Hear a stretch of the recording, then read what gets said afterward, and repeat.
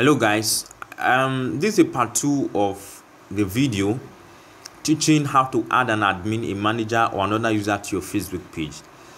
I initially did the video and some people had issues locating some of the icons um, as it appeared on my own device.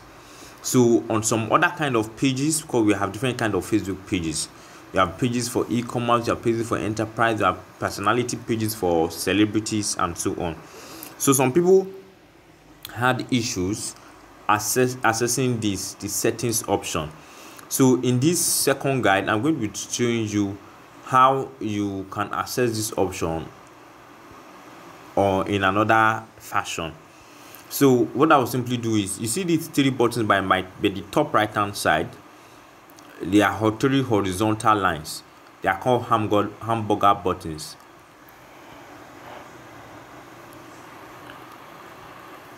I'm going to tap on them.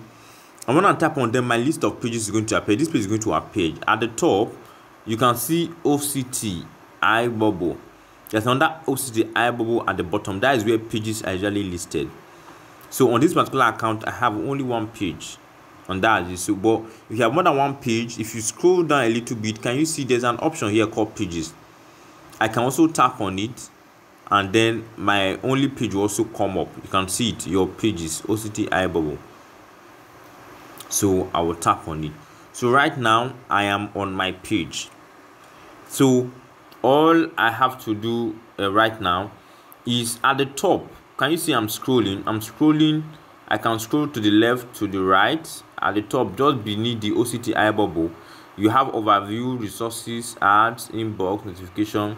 So i can I can scroll. Now I will swipe left until I see this more. The last option there is more. So I will tap on more and this page will pop up. Now I'm going for settings. I will scroll a little bit for me to see settings. Can you see settings there at the bottom? So I will tap on settings. So once I tap on settings, this page will come up and I can see page roles and I tap on page roles. Now this page allows me to add a manager admin on this particular uh, page. So i will tap on add person to page.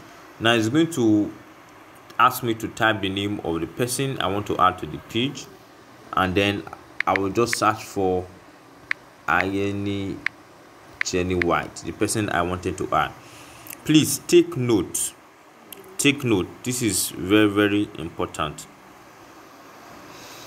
If the person is not your friend your friend on your main facebook account that is attached to this page you cannot add the person. The person's name will not come up. Please take note. So i've tapped on on the person i want to add and there are different options. Here i can add the person as admin i can add the person as editor but you are advised not to add the person as admin because if you advise, add the person as admin, the person now has the right to also remove you from being the original manager of the page. So you can add person editor, moderator, advertiser, analyst. Recommended one is editor. Add the person as editor. The person can do everything your page except having admin power. So the next thing I will do is tap on add. Can you see add beneath the blue button? So when I tap on add, it might ask for my password to confirm okay for this particular account it didn't ask my password so it added the person immediately. Now it says pending people. So it means that Ayeni Jenny White has to accept from her own end or from his own end before he or she will be finally confirmed as an admin to this way but the request will be sent to the person and to show in the notification area of the person's Facebook page. Thank you very much for joining me. This is Abraham from Whyte Abraham Tech, and I have successfully taught you how you can add a manager and admin to your Facebook page using your mobile devices. This is the part two of this video. If you don't understand this one, I suggest you watch the part one. So your device must have the settings of either the part one video or the settings as shown in the part two video.